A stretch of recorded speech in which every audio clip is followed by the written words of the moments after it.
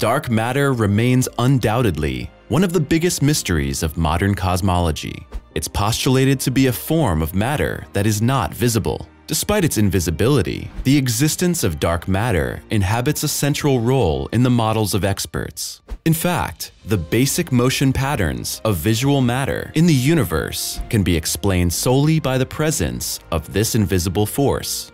In today's video, we'll cover the theories that exist about the nature of dark matter and what our state of knowledge is regarding this mysterious form of matter.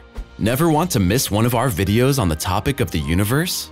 Then remember to subscribe to Simply Space and activate notifications to come with us on our journey through the endless expanses of the universe.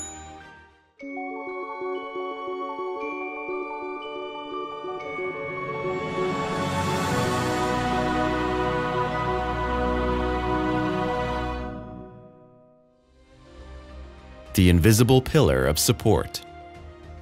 Visible matter, including stars, atoms, planets, and other detectable entities, accounts for only about 5% of the total matter in the universe, according to our current knowledge. The rest is currently still an invisible mystery. Thus, researchers assume that about 25% of our galactic home consists of dark matter. The universe is in turn completed by dark energy, Although dark matter plays an essential role in the natural constellations of the universe, scientists are currently unable to prove its existence directly. This is because dark matter does not interact with light. Therefore, researchers rely within their theories exclusively on those apparent effects dark matter exerts on visible matter in the universe. Scientists agree on the fact that the gravity exerted by the provable mass of the galaxies would not be enough alone to hold together these galactic structures. Consequently, there must be another form of matter in the vastness of space, which generates the gravity required for this purpose. According to this, the stars and celestial bodies would not exist in coherent formations without the existence of dark matter, but would be scattered across the entire universe. This would also mean in the end that galaxies in general could not exist without dark matter. In other words, this means nothing more than that our planetary system would not exist at all without the influence of this invisible force. Specifically, the law of gravitation and Kepler's third law state that the rotation speed of stars should decrease the farther they are from the center of their galaxy. This is because the visible mass in galaxies is always concentrated inward. The measurements of researchers showed, however, that the orbital velocities of those stars far from the center do not decrease, but rather remain the same or even increase. This puzzling circumstance, which does not agree with usual laws, suggests therefore that in the universe an incomparably influential mass must exist, one not present just in the form of stars, gases, or dust, namely dark matter. Despite these apparently detectable effects that dark matter exerts on structures in the universe, its existence is not yet considered, however, completely proven. However, since galactic dynamics cannot be explained without the existence of this ominous force, dark matter has the status of a postulated form of matter. The experts see the existence of dark matter in their cosmological models as a given, although direct proof has not yet been furnished as of yet. History of Research the fundamental knowledge we currently possess about the nature of dark matter looks back on a long history of research. In the early 1930s, the Swiss astronomer Fritz Zwicky observed that the Coma cluster, which is composed of more than 1,000 individual galaxies, could not possibly be held together by the gravitational forces of its detectable components alone. Within his research, Zwicky came to the realization that 400-fold more matter would be necessary to explain the gravitational connectedness of the galaxy cluster. The thesis purported that the mass that seemed to be missing at first sight could exist in truth in the form of dark matter, but this was rejected at the time by most experts. Some years later, Australian astronomer Ken Freeman determined that gas moves across larger distances with the same speed as it does around galaxies, although in these larger areas only little matter is visible, which could cause the circumstance. The expert Vera Rubin recognized in the 60s that the rotation speed of stars in the galaxy regions far from the center is much higher than the theoretical models predicted. It was then that the hypothesis about the presence of dark matter was taken seriously by the rest of the scientific community.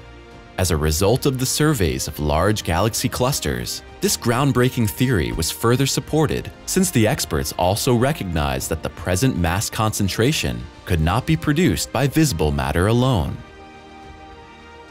Will dark matter prove itself? Since dark matter, as already mentioned, is still just a postulated form of matter, experts are working diligently to furnish direct proof of the existence of this invisible force. Within these efforts, scientists are using different approaches.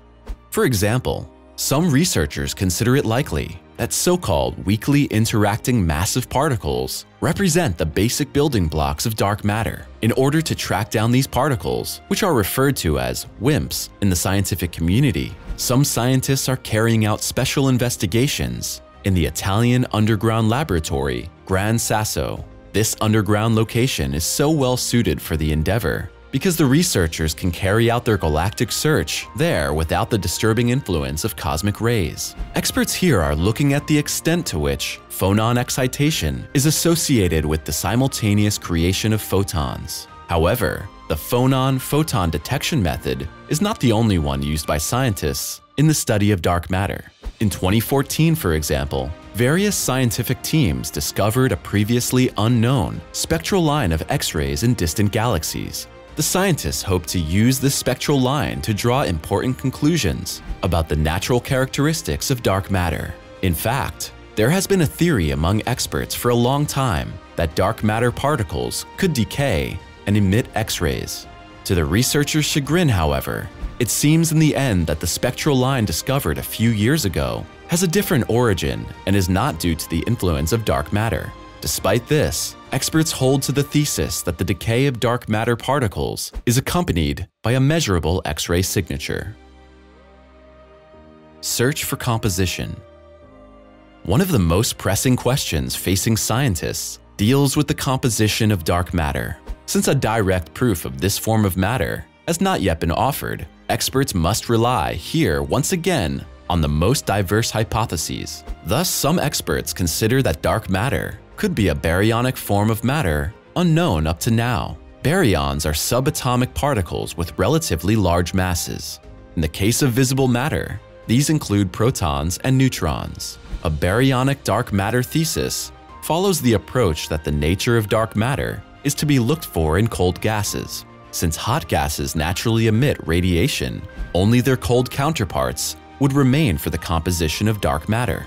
This theory becomes, however, disputable with the fact that cold gases can heat up under certain accompanying circumstances. Moreover, even gigantic gas assemblies would not be able to muster the total mass necessary to explain the gravitational constellations hypothetical cold dust clouds are also among the possible candidates when it comes to the question of dark matter composition. Because of their low intrinsic temperatures, cold dust clouds would not emit radiation, again making them virtually invisible to terrestrial researchers. However, the theoretical dust formations would reflect incoming starlight, allowing them to be detected at least in the infrared range. Other hypotheses, in turn, move away from the common structure of matter and seek the origin of dark matter in a non-baryonic form. Physicists Chiu Man Ho and Robert Scherrer put forward Majorana fermions as potential carriers of invisible matter. These particles have a tire-like structure. This structure in turn leads to the fact that an electric field in such a torus remains circularly closed so that it cannot be detected externally. For a long time, scientists suspected that dark matter was composed of neutrinos. These electrically neutral elementary particles have a very low mass and are divided into three different types within the scientific community. However, the latest findings state that the total mass of neutrinos is not sufficient to account for the observed gravitational phenomena in galaxies. The theory of cold dark matter is again based on the existence of the already briefly mentioned WIMPs. However, those elementary particles, supposed to be influenced exclusively by a weak interaction and their gravity, have not yet been observed at all. This thesis of cold dark matter experienced a galactic damper some years ago. when astronomical investigations brought the realization that the distribution and luminosity of satellite galaxies did not agree with the predicted cold dark matter models.